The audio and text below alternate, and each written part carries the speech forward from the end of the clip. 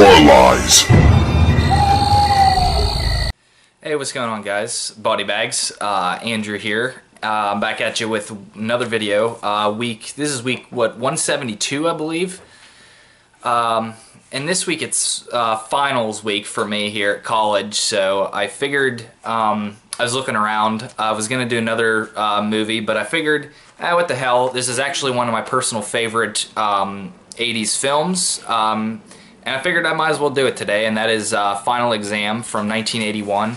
It was uh, written and directed by Jimmy Huston, and um, it basically is just a story of. Um, it's basically a killer killing people on finals week. Um, you can tell it's kind of later on in finals week because most of the people are kind of heading out, so it's it's a movie that I watch at least once or twice every single finals week. Um, actually, I, I, got through it four times in one finals week before.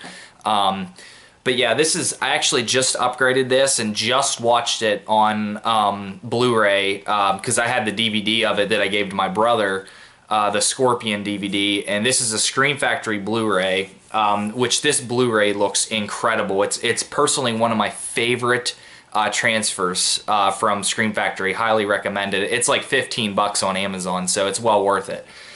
Um, but basically, it's people killed on uh, there's really no point to the killings. Um, that's actually a theme throughout the movie.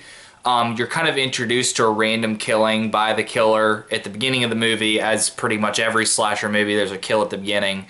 And then um, it skips to lanier college which was i think i can't remember the limestone college is i think the college the actual college name. It's in like north carolina i think.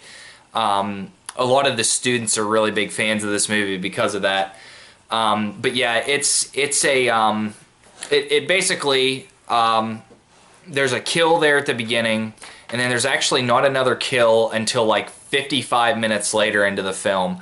Um, it, it it is definitely a character based film. Um, there's not a lot of character development. Um, you just spend a lot of time with the characters.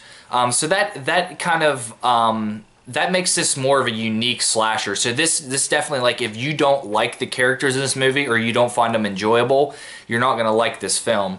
Um, but for me, I absolutely love the characters in this film. Pretty much every one of them is just likable and entertaining. They're fun to be around. So when they get killed off, I really don't. I really, I really liked all of them. I didn't want any of them to die.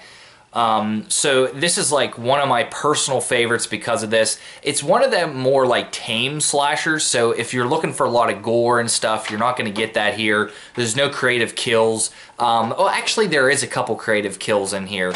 Um, but if you're looking for like gore, this one's not for you. Um, this is one that just, it's your basic slasher though. It takes place on a college campus, so it's kind of a cool one for me for that reason. Um, but yeah, it's it's a super good time. It's not for everybody because even I've I've been talking on the Body Bags page and on the 22 Shots page, and um, people people really don't seem to like this film. It's it's one of those ones where people either really like it or they they just think it's kind of boring. Because I mean, it literally it takes an hour for another kill to happen in this movie, and they all happen within like 15 20 minutes of each other. Um, but honestly, for that, I really like this film.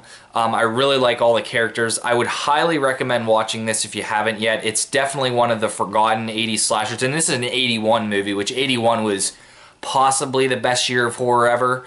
Um, so yeah, I highly recommend this. My personal rating for this movie is a 9 out of 10.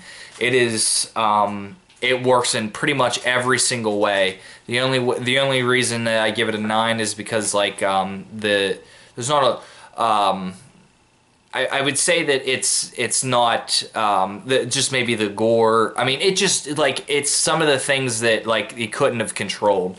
But honestly, this movie was made for three hundred thousand, and for what it did, it was shot really well, um, and it just it just all around did a good job. So that's going to be my review for this week. Um, hopefully, probably have a more Christmas horror movie for next week because next week's going to be the Christmas week. So, um, or the week of Christmas, should I say. So, um, thanks for tuning in, guys. Um, I'll see you again next week. Hopefully, you enjoyed this. Please let me know what you think about it down below. And uh, have a great week, guys. Peace.